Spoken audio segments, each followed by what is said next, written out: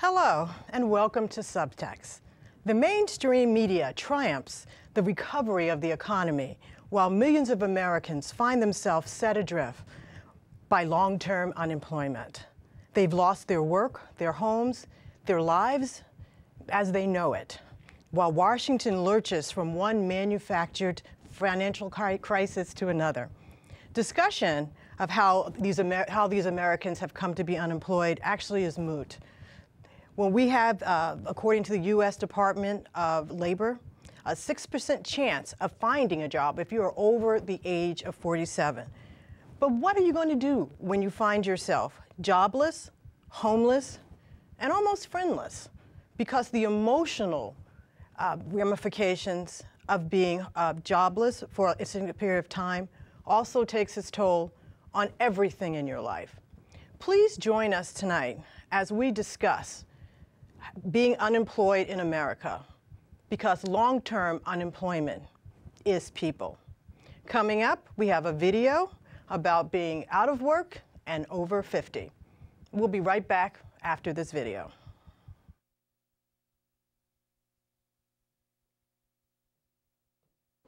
So Joe, why don't you just introduce yourself, say how old you are, say what your career has been, and the last day you worked in the mill. All right, my name is Joseph Price, the third, actually. I'm going to be 52 years old in uh, August, and I've been a steel worker for the past 25 plus years. My last day of work was two years ago, actually. I graduated high school in 1972. At that time, the economy was great. I had been in banking since I graduated from high school, uh, so I had a career of 31 years. That's basically what was instilled upon us, that you work 30 years in this mill, you're set for life. I loved my job. So when I lost my job, I lost my soul. My boss called me and said, I have to deliver really bad news. I feel so bad about this. I lost my job due to federal and state cutbacks. It was just, sorry, George. I've been unemployed now for one year and seven months. I've had literally maybe 10 interviews in two years. When I lost my job, I lost my health insurance. No, I don't have any health insurance, so I can't get sick or hurt. I have not paid a full mortgage payment since June of 2009. Now the house is uh, upside down significantly. The American dream to me has been erased as to what um, we thought it would be.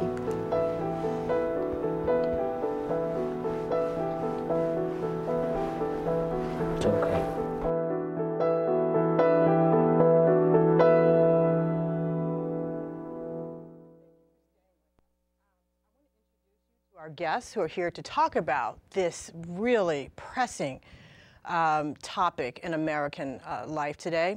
With me today, I have Kelly Coventry.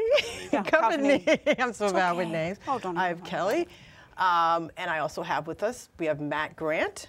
And Kelly, let's start with you. Looking at that video, which Mm-hmm. talked about long-term unemployment, um, please tell us what your experience is.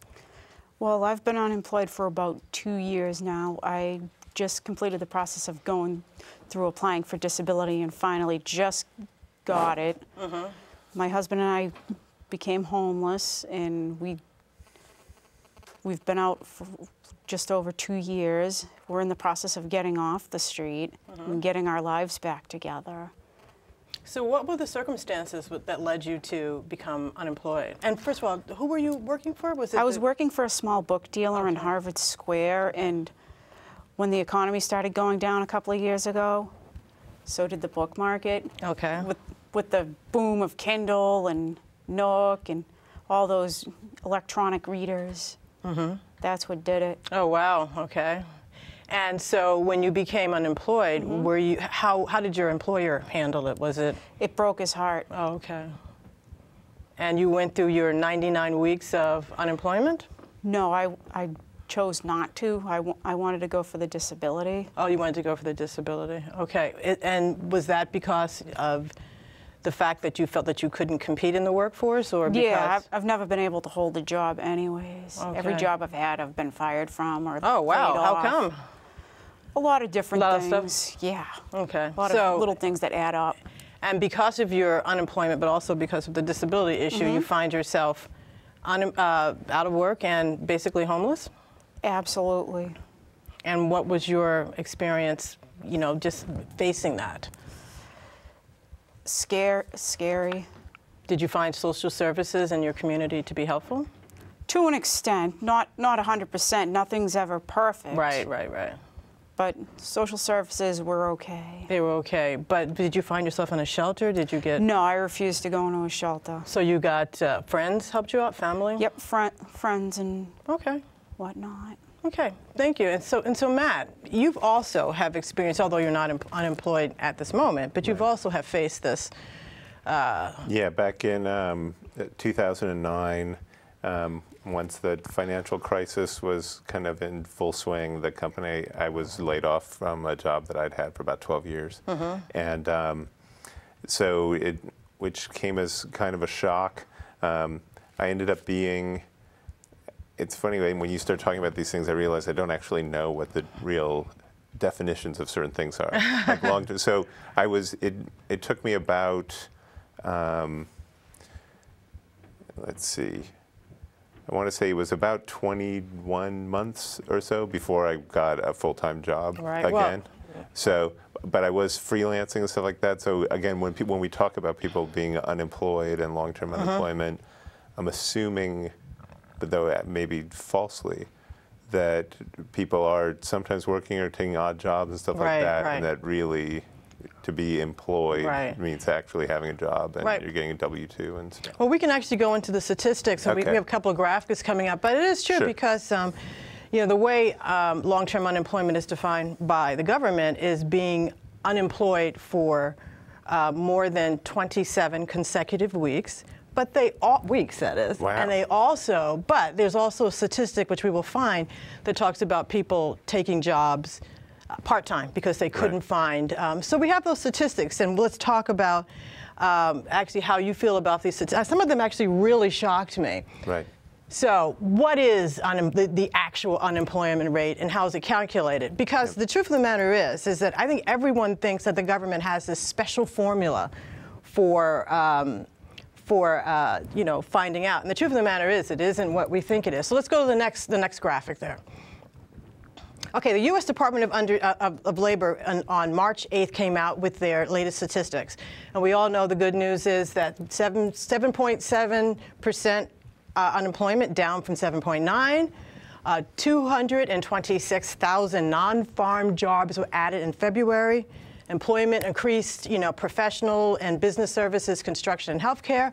But this does not account for job loss due to the national sequester, which is about to hit. And that is something that they are putting in their, their statistics. In the next slide, this is also breaks down, we all know about these, you know, the, the worker groups, and, you know, we see the, the basic things that the, uh, for, for whites, the unemployment rate is 6.8. We have blacks at 13.8, teenagers at 25.1, which is, if you think about it, is outrageous because, you know, teenagers usually get really, you know, uh, minimum wage jobs and so on and so forth, part-time jobs. Those are all gone.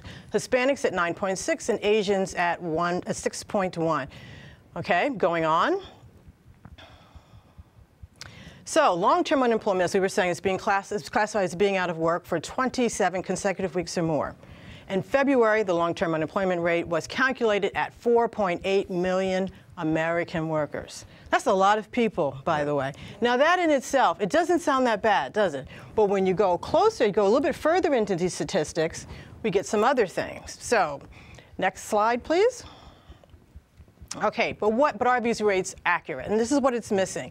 The number of long-term unemployment peop unemployed people grew from 4.8 million in February to 4.7 million in January. So there's growth there. You never heard that, and that's actually deep because while the short term is going down, the long term is going up of the people they count. The number of persons employed part-time for economic reasons is at 8.0 million. So what does that tell you? you know, that's also included in the long-term unemployment rates. And it was essentially unchanged in February. But you know, if you think about it, once again, these are part-time jobs. These are part-time jobs that used to go to retirees and teenagers, and now you have the main uh, part of your workforce now, now, now using these uh, jobs as their main source of income. So next graphic.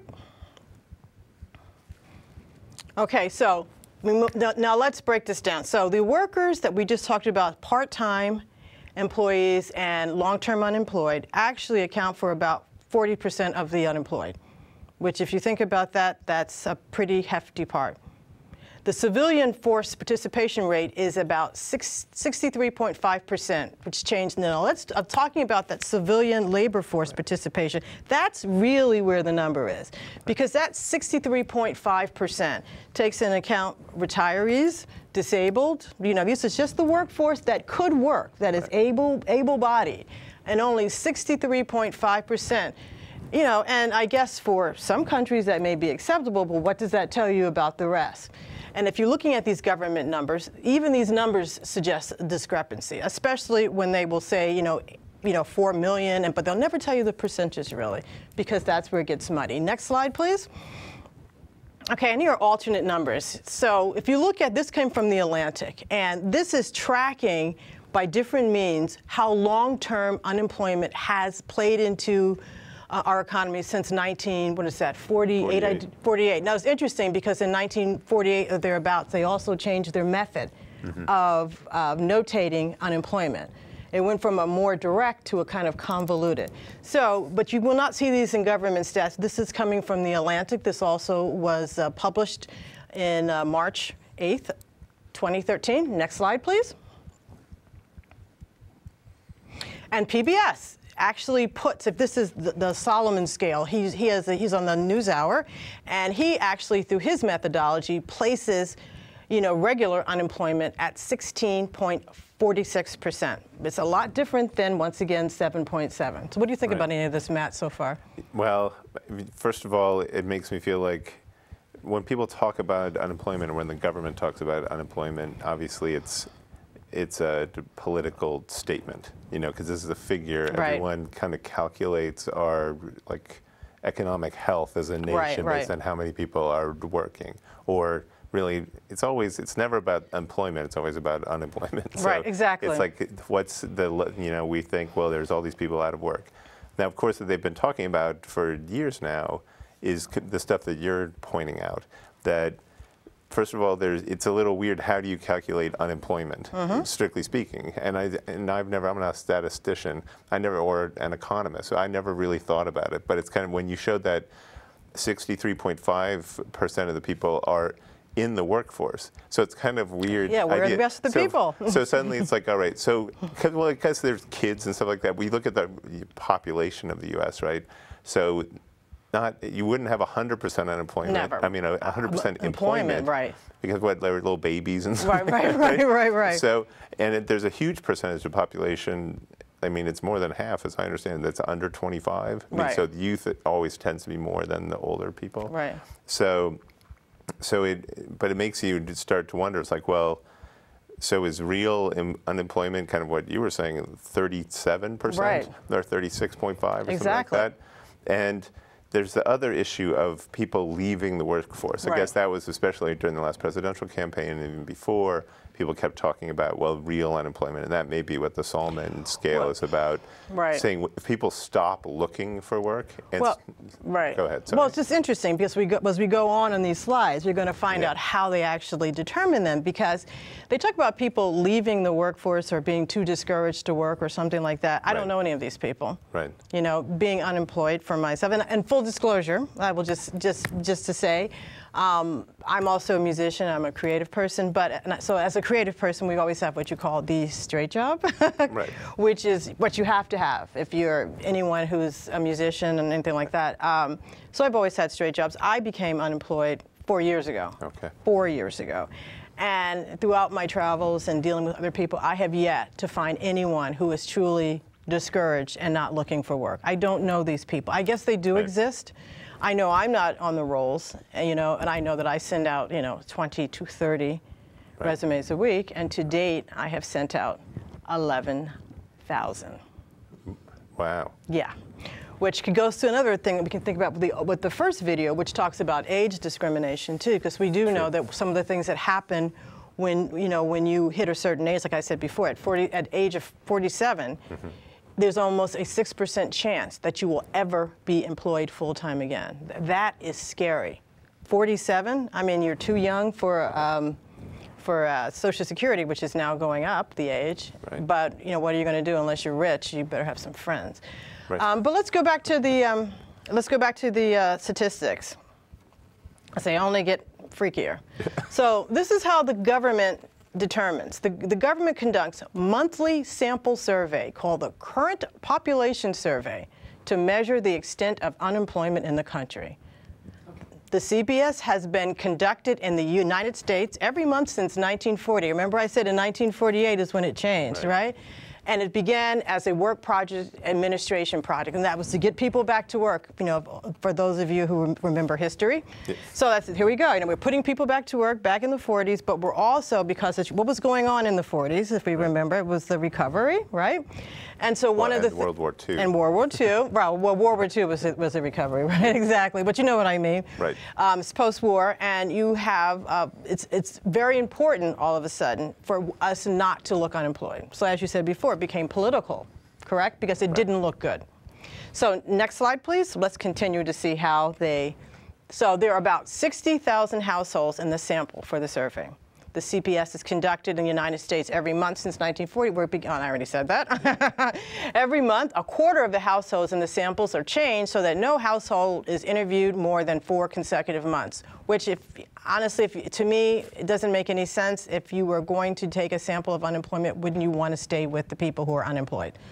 and follow them. So the, right there, I don't understand this. You know, I'm not a statistician, statistician either. and Right. I'm also not an economist, but I think they do. You want to randomize it. On, if you're looking at, if you're trying to make a picture of overall unemployment based on a statistical sample, Right. then I think you do have to randomize Right, it. right, right, but- Otherwise, if you're like, if, I mean, and though it does speak to other issues, I Right. mean, like you were just when you had the worker groups and different unemployment Right. stats there. I'm sure, frankly, if you looked at different geographical regions, Right, right. different cities and stuff like that, if you picked all your 60,000 people from those places where you knew unemployment was chronically high, then you would the overall unemployment Right, rate right. would seem chronically high. Right. So I think just from a statistical standpoint, you have to keep moving Right. it around. Is my guess. you know, and also I would think that you'd want a control group too. Right. That's the only. I don't see a control I can group see there. that. So, Yeah. so it's, what do you think about that, Kelly? They need a control group. Right. I mean, they do. I mean, when you he- when you hear this stuff, doesn't it sound crazy? It does. It sounds kind of rigged.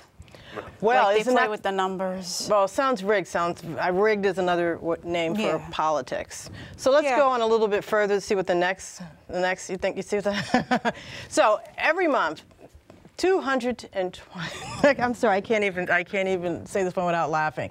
So we have Census Bureau employees going out and sampling people. And these people are going to tell them about their job holding or job seeking or non-labor force status of the members of this household during the survey reference week. First of all, it's just like those people who used to have the, the Nielsen recording devices in their house. I don't know anyone. Uh, I don't know anyone. Uh, I don't know anyone who knows anyone.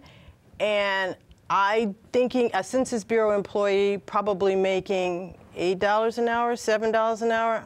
I wonder how accurate that is. I'm sorry. Hmm. Do you know what I mean? You would think when you can vote for American Idol and tally the votes in seconds, you're going to tell me we can't do a better way of finding out what the real unemployment rate is?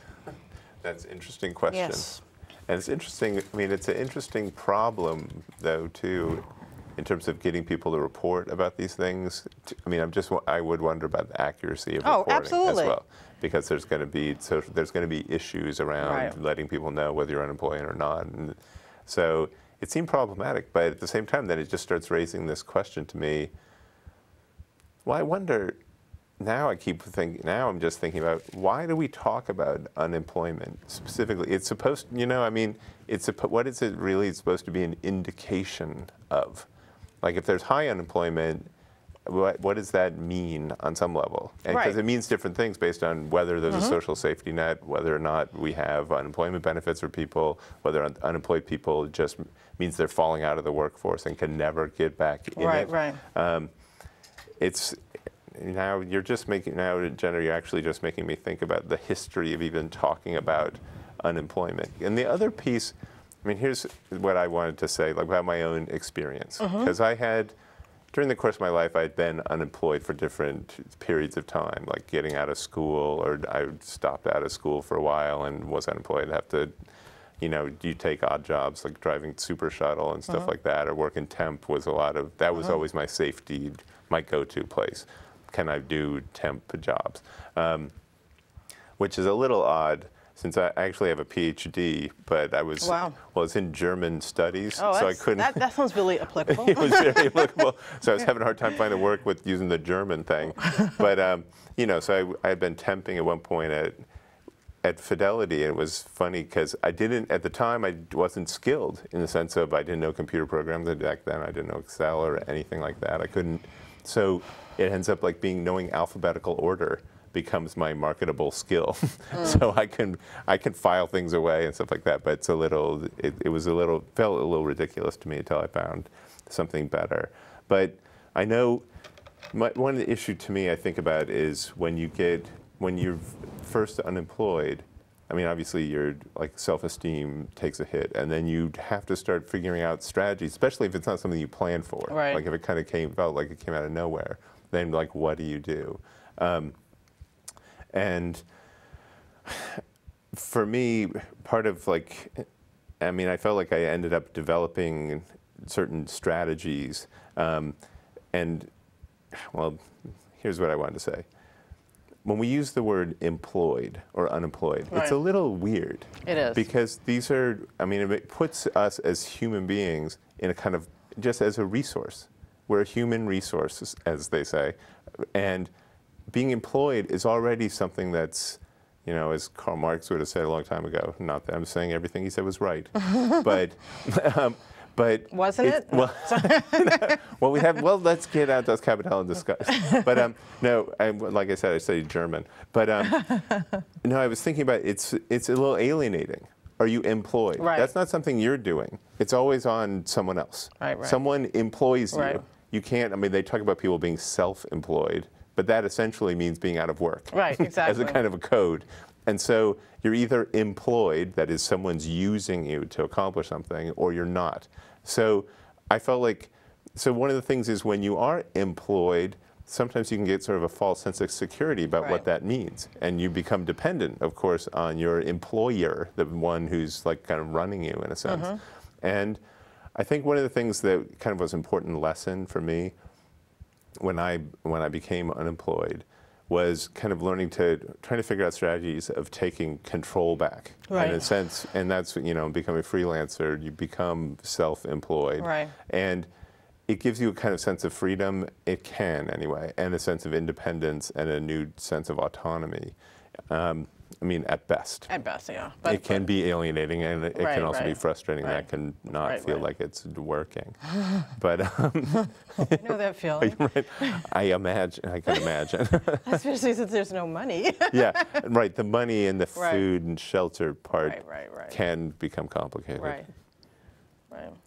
So let's let's go on. What was the next uh, thing on the uh, on the? Here we go. Okay, alternate methods of calculation. So this is interesting because the International Labor Organization, which is a, I think it's a GEO of or part of the UN, maybe a subcommittee. You know, our unemployed people are those who are currently not working but are willing and able to work for pay, currently available to work, and have actively searched for work.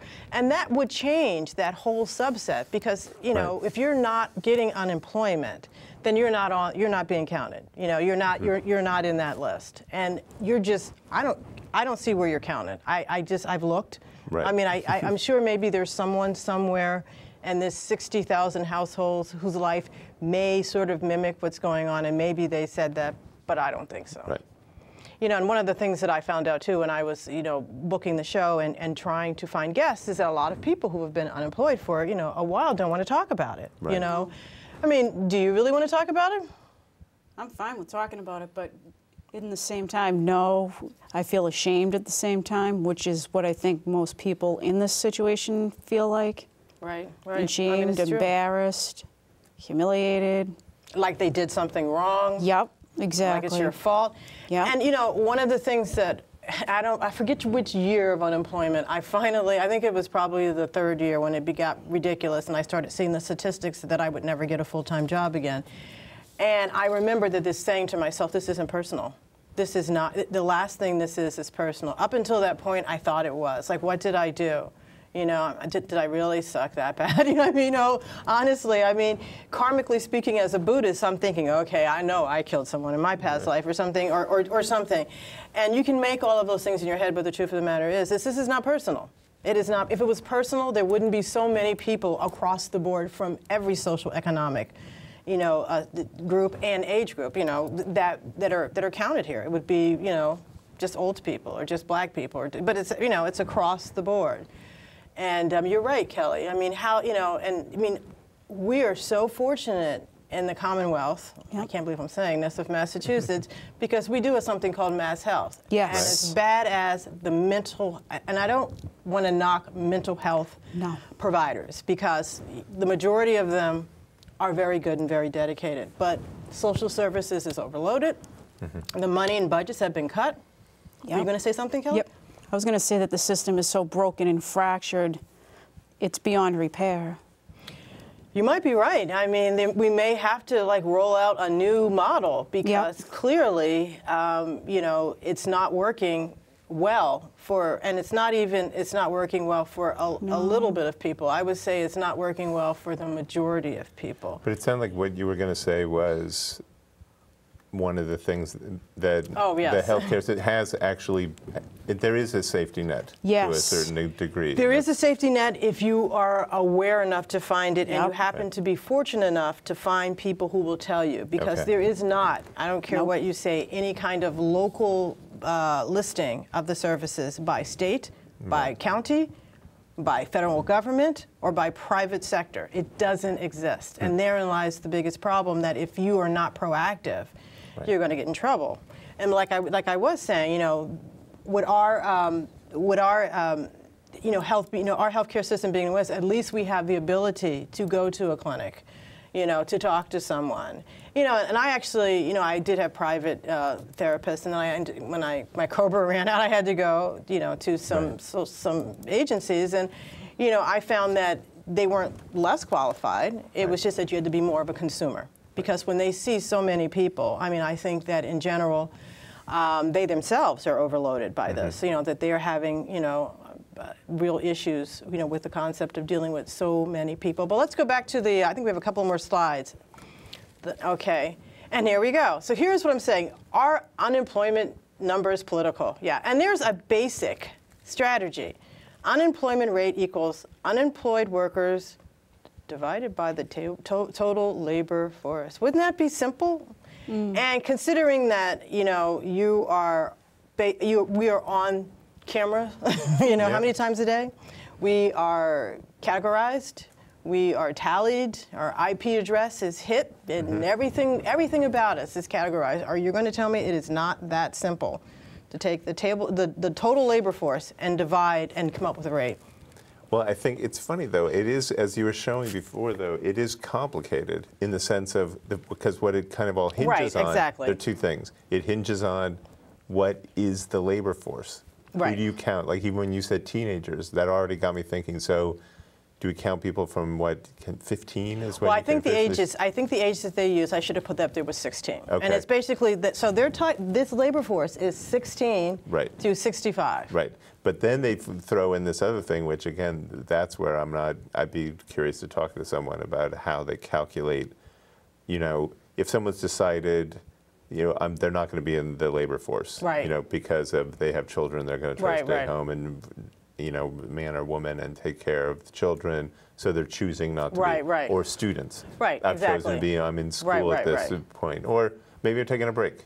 I don't want to work for 6 Mhm. months or something. I mean, so it becomes. I understand how Yeah, it gets a little foggy, I but that's what's kind of funny on the flip side of that is that they're always there is this focus on the kind of decimal increments. Oh well, it went from 7.7 right. to 7.6, so that was good. But you're talking about fractions of a number that itself feels like a moving target. Right, it's, it, and it's true. Yeah. And and the whole point of it is is that these are numbers, but behind these numbers are Mhm. people. yes. And the situations that people are, are getting themselves into are desperate or, or, or finding themselves in Yes. because they're not getting themselves into it. It's just the way it's you know it's it's it's shaking out. And um, I guess that the thing that you know that really infuriates me so much is that you know honestly, you know when you go to when I, my, you, Kelly, you said you had a different experience, but I remember going down to um, food stamp office to try to get food stamps. I've never gotten food stamps to this day because it seems so selective. It doesn't seem like you know. It doesn't seem like you know. Here's the parameter. I mean, I honestly, I had Because of the criteria, it just No. isn't well defined. because or- the people who work there aren't very, and I don't really, I don't know how to say this, but they don't seem to be very helpful. Okay. No. And um, did you have that experience, Kelly? Yes and no. I would say, yeah, they were helpful in identifying what we could get, and Mm-hmm. no, in that at the same time, they didn't like answering questions if I had them. Mm-hmm. So what did? So you you ended up not taking unemployment and not taking food stamps oh, we, either. I took the food. Oh, you finally you yeah, did I, food we did take food stamps. Okay. And did you find that process to be? I think it's a lot of a lot of red tape. Right. Too much paperwork. An application that's like 13 pages when it should be no more than three, maybe. Actually, really, really. So did you have? Did you ha- just go once and were you? Yeah, and then they mail it to, then they mail it to you after. I've been every to the month. I've been to the food stamps office three times. Oh. and I, I the last time I was there, I got stymied on the question about my income, and they said um, uh, you need to prove proof of income, and I go, how do you prove a negative? And that was the end of the discussion Right. because I didn't know how to, dis- you know, how do you when you're when you're on unemployment, you can prove it by your unemployment. You know, Yeah. the IRS can and the Department of Revenue obviously can check. Right. Which I'm surprised that the food stamp office can't check that information. I thought they could too. I mean, you would think it's on the same computer, and you know, if you know, it's so it's crazy. But um, let me just take a break here right now, and I want to um, bring up a video that um, I shot. The executive director for Somerville uh, Coalition for the Homeless really wanted to join us here tonight, but he wasn't able. So I did a video and really talking about um, some of the uh, unique issues of homelessness that comes up with being unemployed. So let's watch that. doing a lot of work on food insecurity in Somerville, and we've used a research. It's a community-based research class from Tufts, and so one of our student interns went to the welfare department and applied for SNAP's food stamps, mm-hmm. and they, you know, she because we knew what she needed to apply, she took all the documentation she needed with her. And they say fine you know we'll call you if we need anything else. They never call. They, they're supposed to respond in x number of days like a week or something right? They never respond. So she calls them up and says you know Where, where's my food stamps? And they're like oh well we need this. And they strung around. She was a summer intern 10 weeks you know smart articulate advocate never got him Right, right. kept on him never got him Right, that was my my whole thing, and and then I was finally told that I needed a social worker. To not true Okay. not true So as I was saying in the beginning, um, the whole long-term unemployment is, isn't a new phenomenon. I mean, it's just coming into the fore now, I guess, because the economy is so bad, and also because people are beginning to realize how the unemployment numbers are actually, or I should say, not counted. Not- that's right. so if you're off long enough, you don't get counted. Right, right. And so, with you, as someone who's working with the homeless community, there really isn't much homeless prevention out there. For Actually, a lot of our work now, you know, we started out in 1985 with a shelter Okay. uh, for individual adults, and it was started by people in the community who noticed that there were people hanging out in Davis Square that they hadn't seen before. When the Red Line was extended out to Alewife in 1984, it allowed people who were homeless from Somerville, who'd have to go to Cambridge or go into Boston to get a shelter to come back to the community during the day. Mhm. So they got together and they got the was a Methodist church up on College Avenue to let them open the city's first shelter for individuals. We opened a shelter for families in 1987. Uh, we took over the main food pantries in 1996.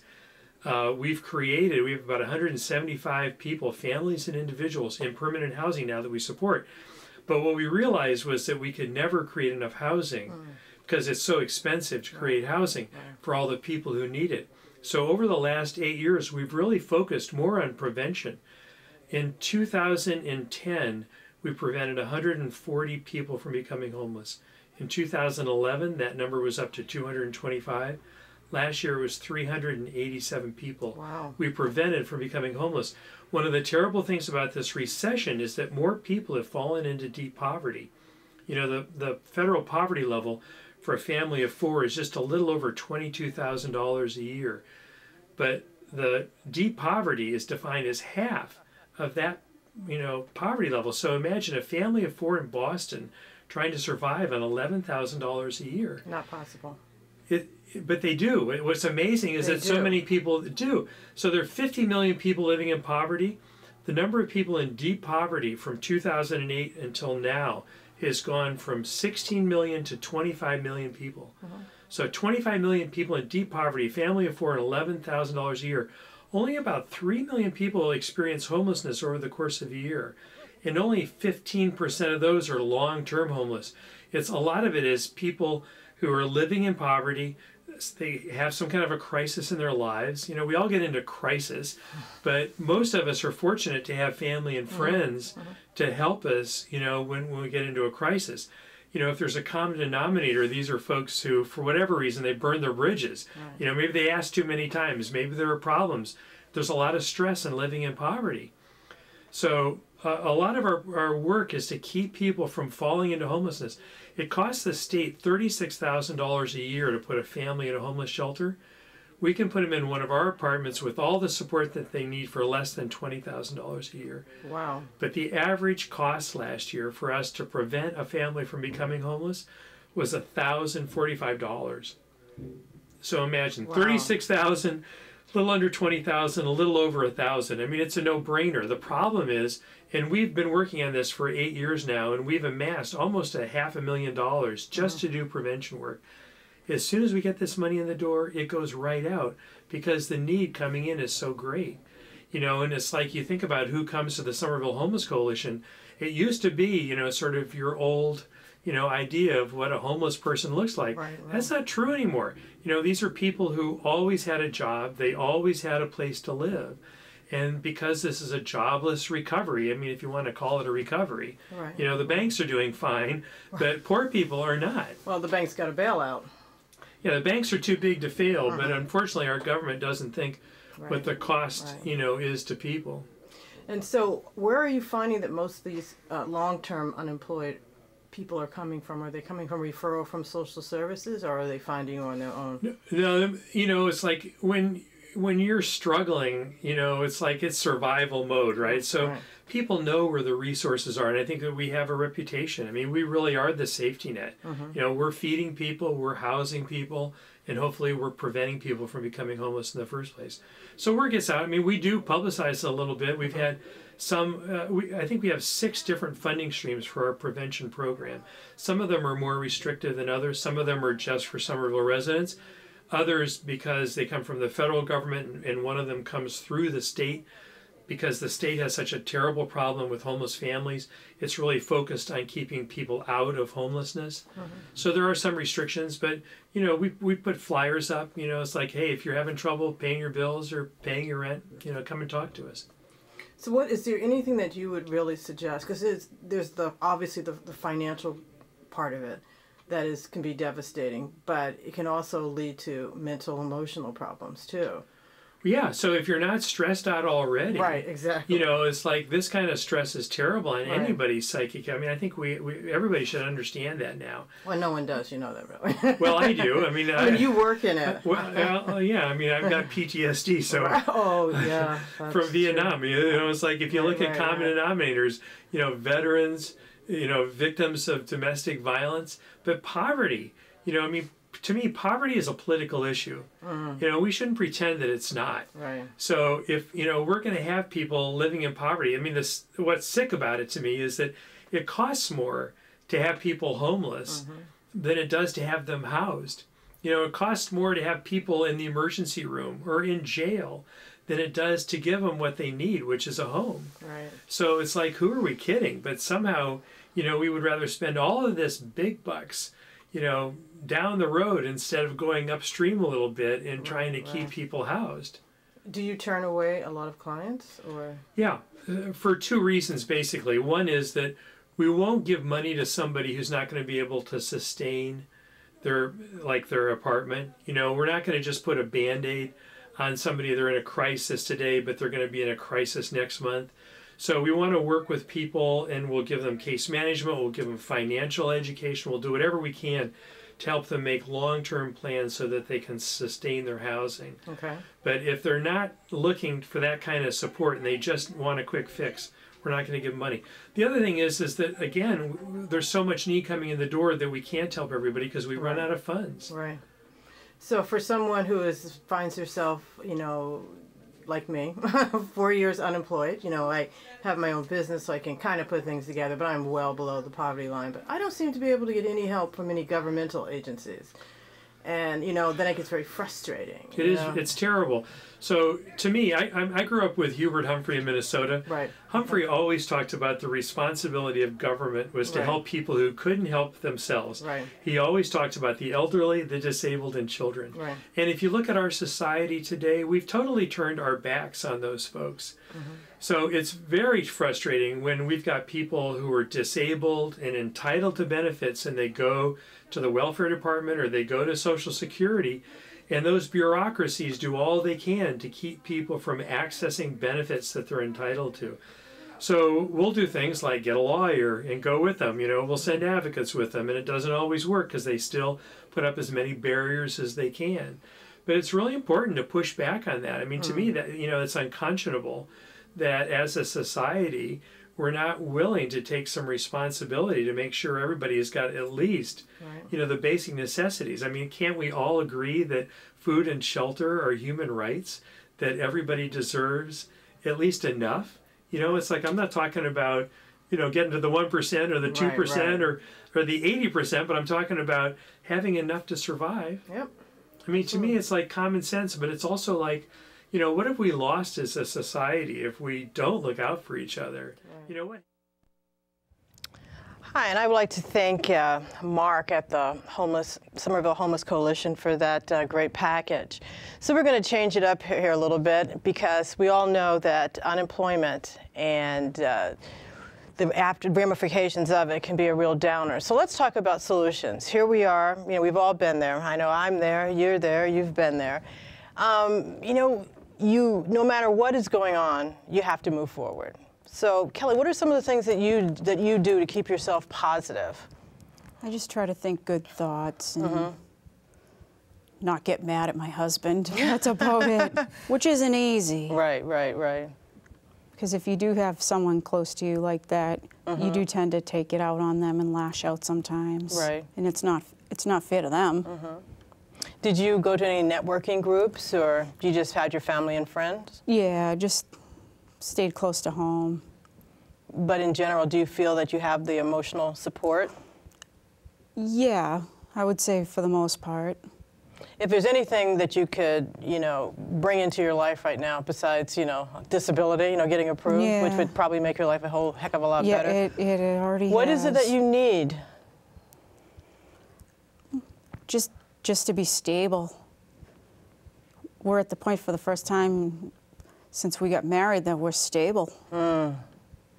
We- We've been homeless almost two thirds of our marriage. Wow. Well, good for you guys for hanging tight. Yeah. And Mark, what about you? Your situation's a little bit. Matt. Uh, Matt, I called you Mark. call I- me Mark. No, Mark was the other guy. Sorry. and Matt, all- what I'll respond to almost anything. really? yeah, right. Okay, we can take it there. Okay. But um, yeah, what I wanted to say was, um, when I was un- unemployed, I felt like there were a couple things that really helped me a lot.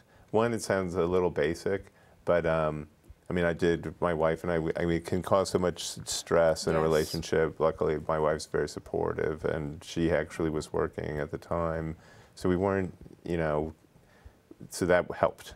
And but just on a personal level, I mean, like I said, it's like you have to try to bu- rebuild up your self-esteem Right. and Yeah. and kind of feel a sense of empowerment. In a sense, you're going to take control of things. Right. You're going to employ yourself. You're going to try to do this on your own. So, first of all, I think you got to just something simple like exercise.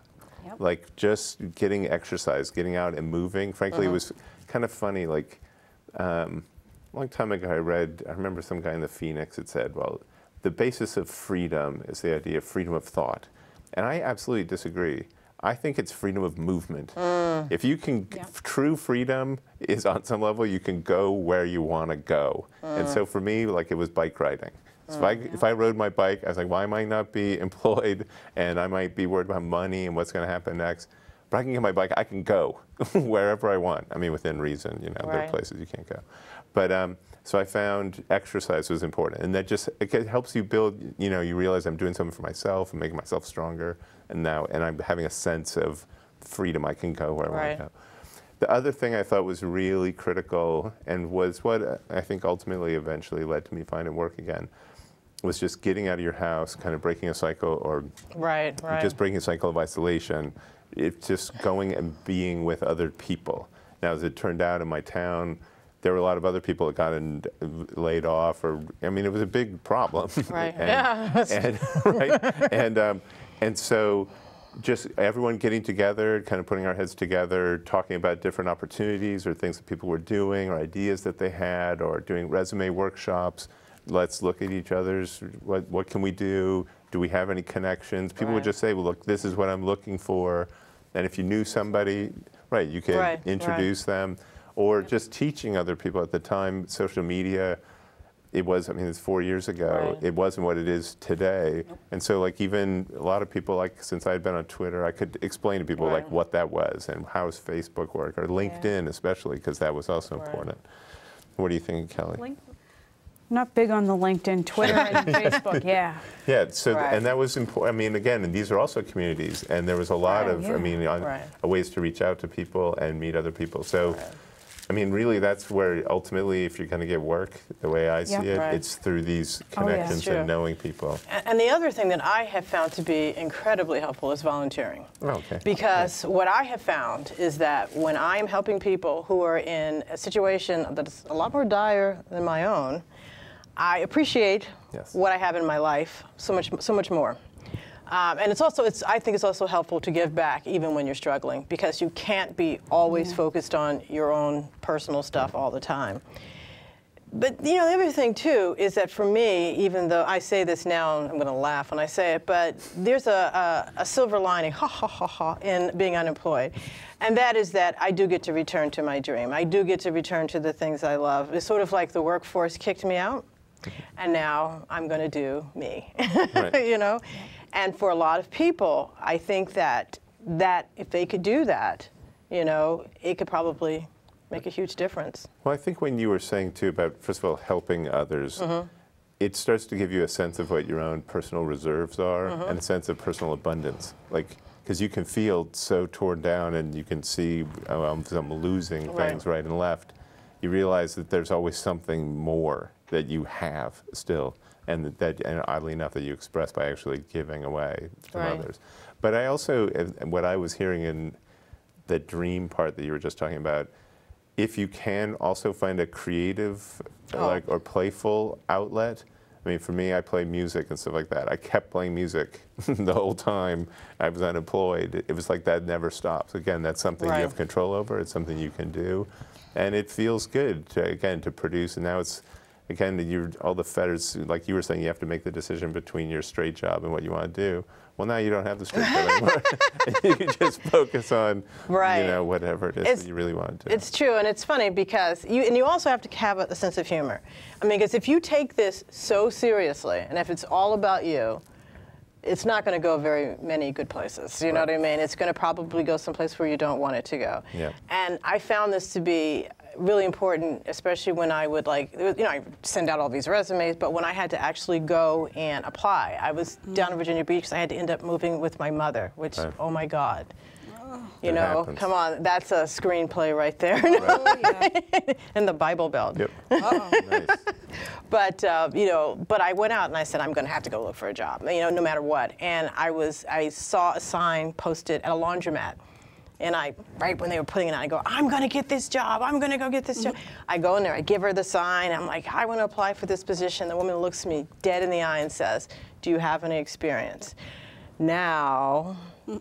I've been washing clothes since I was 10, and I didn't know how to say, you know what I mean? So I had to laugh because, you know, you know, and a lot of it is, you know, how can I say this nicely? Us elitist people, you know, as educated New England people, you know, a lot of times we look down on, you know, manual labor jobs, you know. But uh, so it was both, um, what can I say, uh, humanizing and hysterical. yeah, Well, yeah, humbling, thank yeah, you. It was also humanizing. Humanizing, yeah. It was both. yeah, but that's a little. They do have experience, but then, but it's that does raise another an issue, and I, I know we're going down the positive road, but this also kind of goes back to what you're saying. If you can think about things kind of systemically, then it you can feel like okay, it's not just me. Right. It's not. I mean, it, and you know, sometimes it is the person. well, But, sometimes it's, I mean, right. nobody's perfect And 100% nobody's of right. the time. And we're nobody's perfect, Right. as I like to say. but um, no, but it's interesting because just last week in the New York Times, I was reading, and I was we were talking about this earlier. Um, how you know we're at 7.8 percent, real unemployment 16 percent, or something like that. And this is a time when corporate profits are at their highest point since Absolutely. the 1950s. And personal, I mean, and also, you know, as a percentage of national income at their highest percentage. And personal income's at its lowest point since like 1966 or something. And one of the reasons for this, as the New York Times said, was that was this unemployment. Because unemployment becomes a way where people can keep wages down, companies can keep wages down, and they can because they know they have leverage. It's a buyer's market, and they can say, well, you know, there's a lot of people out there and a lot of people with skills, and you know, so you've kind of got to take a little less if you want to have the job, even while their profits are high. Right. Now, I understand from a business standpoint, you want to make your profits high, and that's, you know, I, I know how it works, but it is an interesting point of this role, what almost becomes a self-fulfilling prophecy. Like at a certain point, from a political and a business, like political economical standpoint, a certain level of unemployment isn't just tolerable; it's actually desirable. Oh, absolutely. For you know, for certain, not all businesses, I think, but certain businesses, and and that's so it, it's something that makes you just kind of to wonder when people Right. talk about unemployment, they, want to bring it down. Um, first of all, I don't. I'm not. On the one hand, when then the flip side is, of course, when unemployment's lower, then more people have money, so more people are spending money. So then there's actually the economy's thriving. That was in the stats you showed earlier. If you look back to the kind of 90s, Right. when the in unemployment, and especially long-term unemployment, was really low, things were going better. Absolutely. They're going better for everybody. Everybody. Um, so anyway, I don't know what my point was. it was a great one. but, yeah, other than it's in, there's the the dynamic of unemployment and the role it plays within this system is something that I think a people should think about so that they don't take it so personally, but something for people to wonder about from a political standpoint. I mean, and what to do next. And it is true because a lot of unem- I mean, un- unemployment is inherent to capitalism too. I mean, I mean that's to be well, quite honest. employment is too. Well, employment is too, and I think we, I think you're right. I think we should talk more about employment and how to get the populace employed, but employed in a way in which it actually betters their life. Ha Yeah. ha ha ha. You know. well, no, but also, I mean, it's the standpoint of, are you employed Right. because people are do, asking you to do something Right. and you're doing it for them? Right. Or are you doing things that are meaningful to you and that you want to do and that you're happy to accomplish? Right. And Okay. you wouldn't even call it employment. I really want to thank you guys for being here. We got to wrap up. See you next time, right. and thank you guys for watching. Thanks.